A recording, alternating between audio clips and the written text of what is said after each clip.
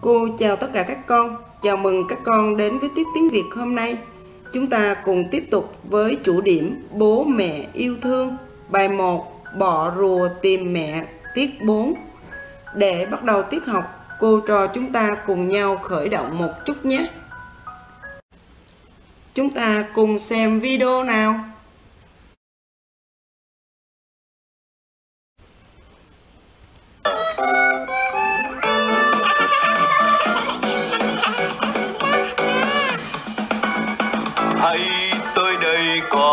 loại nước em mau xem mấy em thầm thì đây. Chọn trái cây thơm ngon, rồi ta say được rồi đây. Nước trái cây thơm ngon cho bạn nước ép khủng long, nước ép cá sấu, nước ép robot và loại đặc biệt, nước ép cầu vồng. Các cháu thích loại nước ép nào?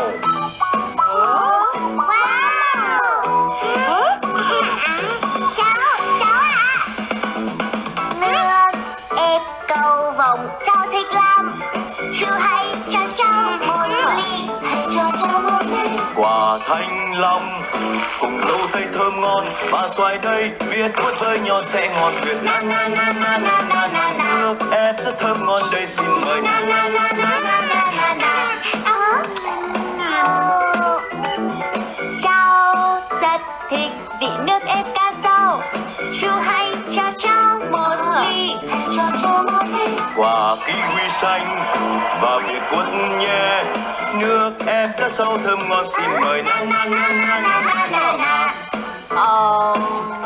Ờ, ha.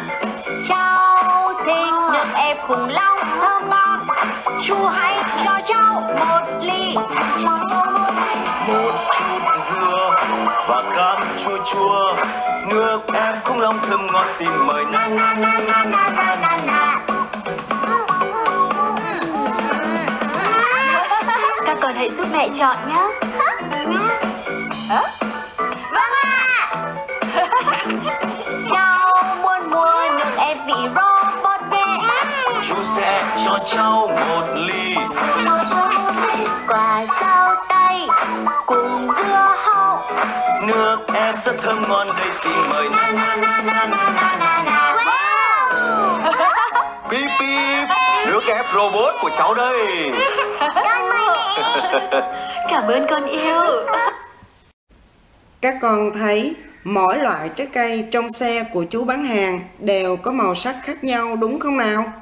Những màu sắc đó là một đặc điểm để chú phân biệt từng loại trái cây làm nước ép thật ngon đó các con. Và bây giờ cô trò chúng ta sẽ cùng khám phá thêm một số từ ngữ chỉ đặc điểm nữa nhé. Các con sẽ cùng thực hiện yêu cầu sau xếp các từ ngữ trong khung vào ba nhóm.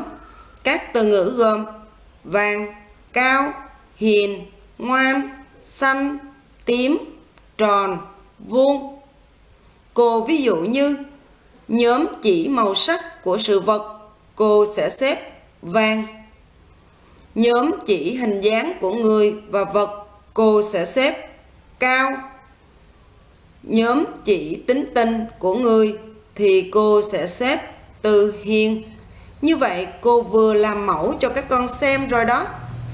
Để hoàn thành bài tập này, các con hãy tìm nhà cho chú Lùng nhé. Mỗi chú Lùng mang một từ ngữ. Hãy xếp mỗi chú Lùng vào ngôi nhà tương ứng với nhóm từ phù hợp. Đây là 8 chú Lùng mang 8 từ ngữ và ba ngôi nhà thuộc ba nhóm các con hãy bấm dừng màn hình, suy nghĩ và tìm nhà cho các chú lùn đi nào. Các con đã làm xong rồi. Bây giờ chúng ta cùng kiểm tra lại nhé. Chú lùn có từ vàng sẽ về với ngôi nhà thuộc nhóm chỉ màu sắc của vật.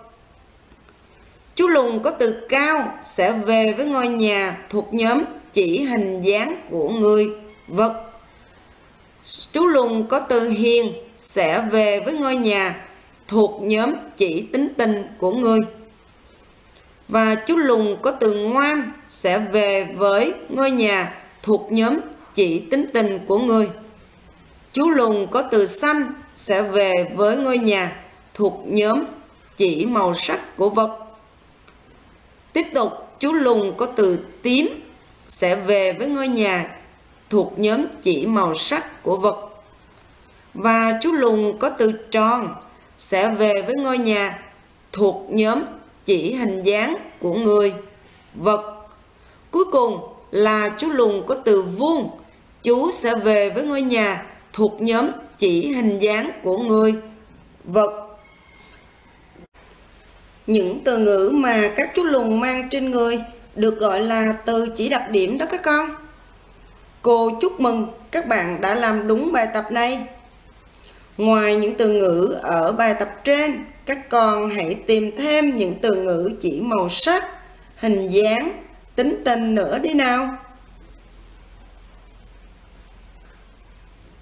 Sau đây, chúng ta sẽ cùng bước vào phần luyện tập nhé. Câu nào dưới đây nói về màu sắc của bông hoa cúc? Bông hoa cúc vừa mới nở, bông hoa cúc vàng tươi, bông hoa cúc có nhiều cánh.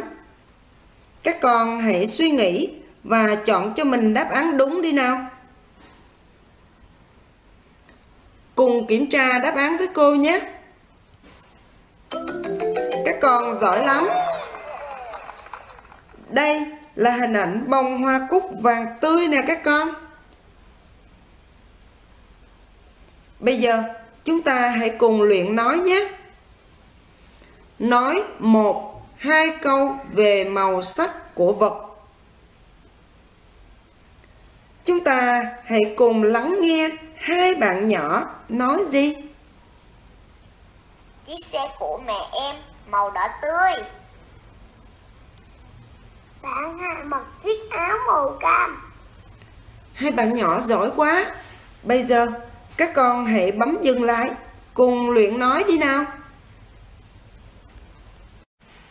Nhiệm vụ tiếp theo của các con là chúng ta hãy đặt một, hai câu nói về màu sắc của một vật.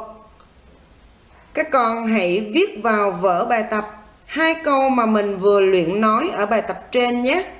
Khi viết các con cần chú ý câu chứa từ ngữ màu sắc phù hợp và có dấu kết thúc câu. Hãy bấm dừng màn hình và làm bài tập đi nào.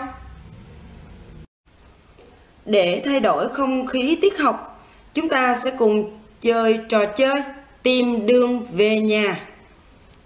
Các con hãy giúp bỏ rùa con tìm đường về nhà cùng mẹ của mình nhé. Hãy bấm dừng và thực hiện đi nào.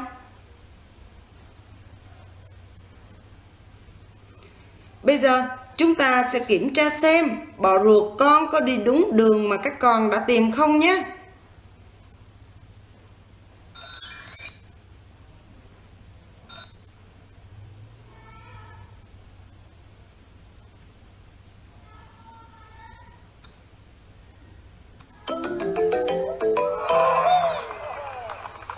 Cô khen những bạn tìm đường nhanh và đúng nè. Trên đường về nhà, bọ rùa đã đi qua những từ ngữ nào? À, đó là từ xanh biếc, chăm chỉ, dịu dàng, vui vẻ. Bây giờ chúng ta cùng nói một, hai câu có từ ngữ vừa tìm được trên đường về nhà của bọ rùa nhé. Các con hãy cùng luyện nói đi nào.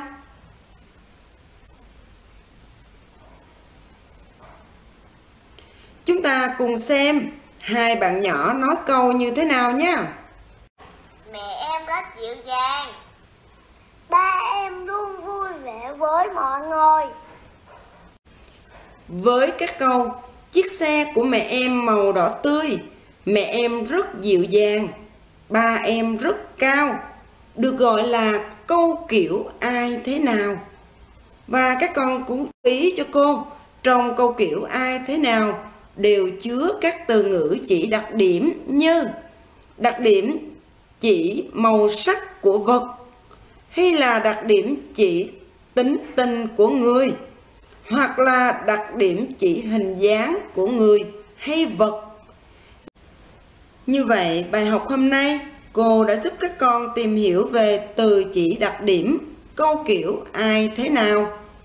Buổi học của chúng ta đến đây là kết thúc rồi. Cô chúc các con học tốt. Chào tạm biệt và hẹn gặp lại các con ở tiết học sau.